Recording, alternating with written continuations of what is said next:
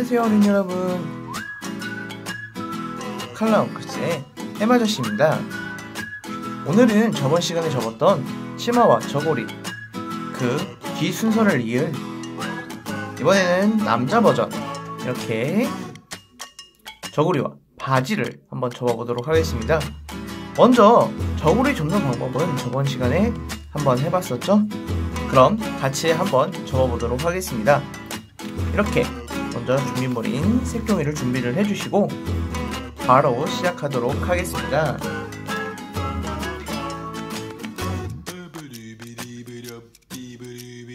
저번 시간에 접었었던 방법 그대로 한번 복습해 볼게요.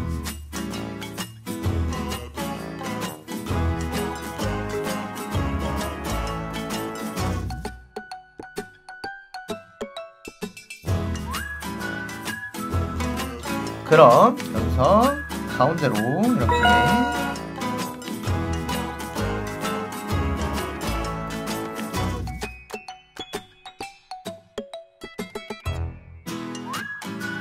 그런 다음 뒤집어서 한 번 더 가운데로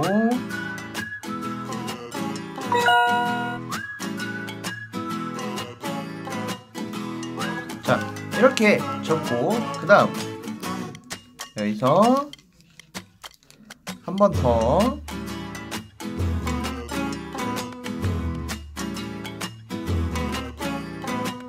그럼 저번 시간에 여기서 어떻게 했었죠?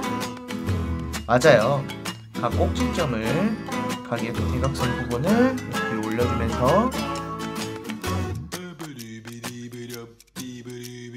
자 그런 다음 여기서 반절로 이렇게 딱 접으면은 저고리가 이렇게 만들어져요.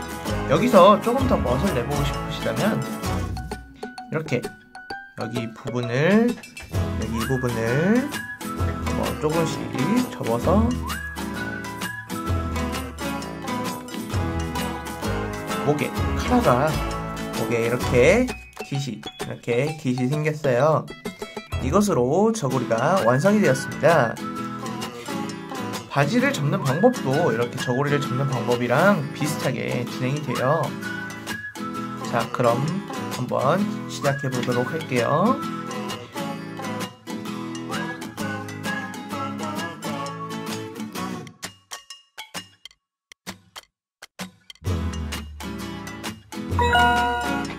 그러면 이렇게 또 십자가가 생겨요. 여기서 이렇게.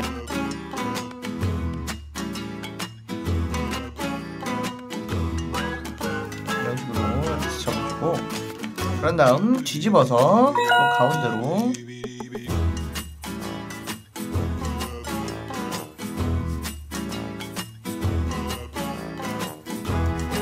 자 그런 다음 여기서 한 번 더 뒤집어서 이렇게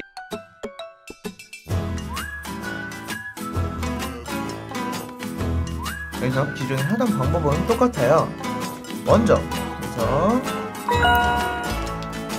이렇게 가운데로 접은 부분을 올려주고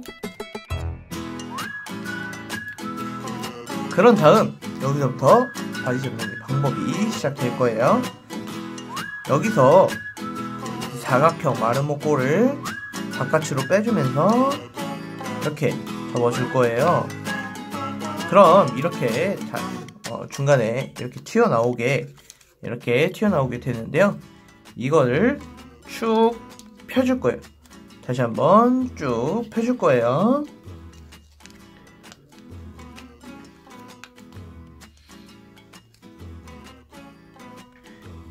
여기서 쭉 펴줄 때 어떻게 펴주냐면은 가운데 여기 부분을 그냥 손을 놔주면서 여기 이 블록하게 튀어나온 부분 있죠? 여기를 손으로 눌러주면서 이렇게 뒤집어 주는 거예요. 자, 다시 한번 여기서 지금 현재 이렇게 접혀 있는 부분을 눌, 뒤로 돌려서 뒤집어서 눌러 여기 양옆을 꼭지점을 눌러주면서 쭉 쭉 하고 펴줄 거예요.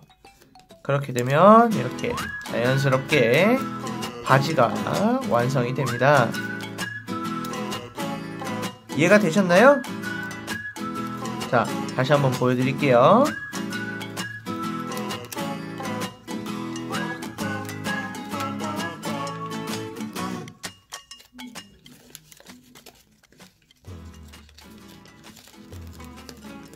여기서 이렇게 이 목, 이 다이아몬드, 다이아몬드를 바깥으로 접어주면서 이렇게 접을 거예요.